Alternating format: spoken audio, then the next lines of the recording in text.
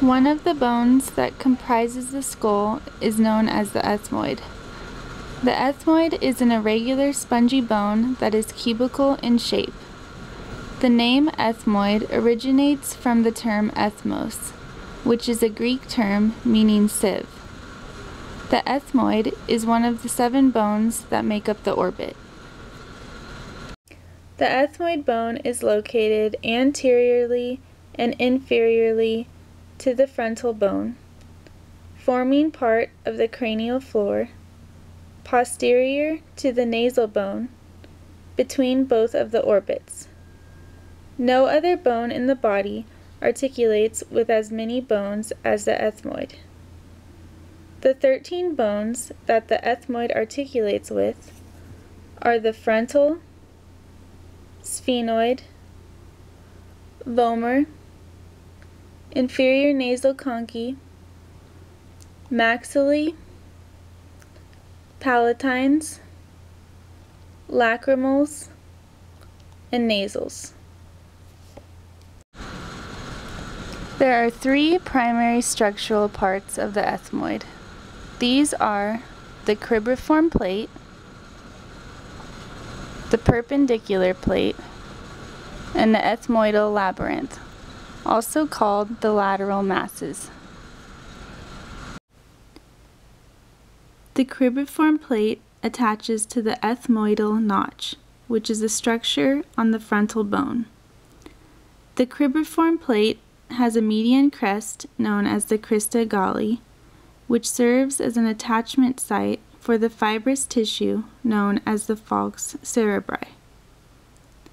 The cribriform plate supports the olfactory bulb and has many olfactory foramina, which transmit the olfactory nerves.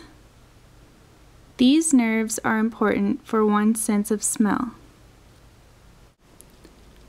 The perpendicular plate makes up part of the nasal septum. The septum divides the nose into right and left passages.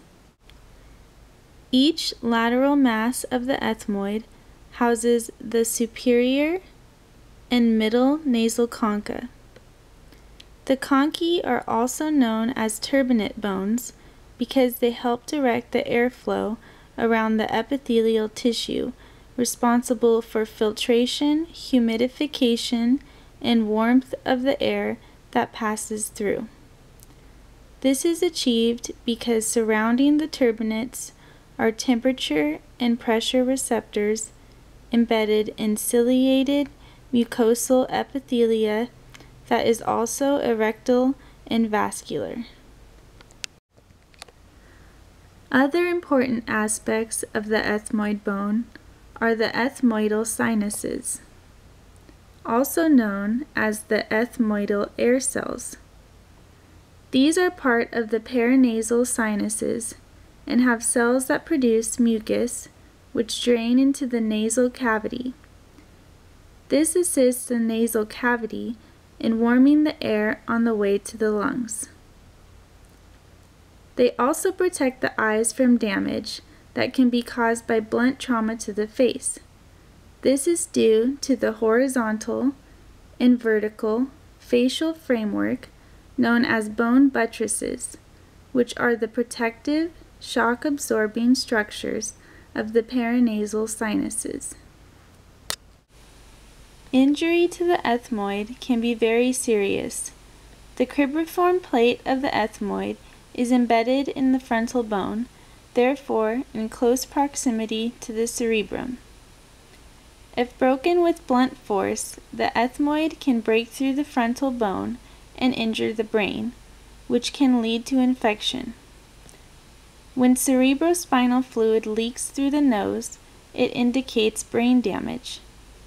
Ethmoid bone injury can also affect the senses of smell and taste by damage to the olfactory nerves.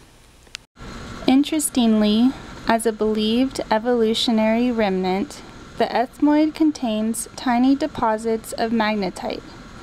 This is the mineral iron oxide, which is magnetic and similar to those found in fish and birds who use it for biomagnetic navigation.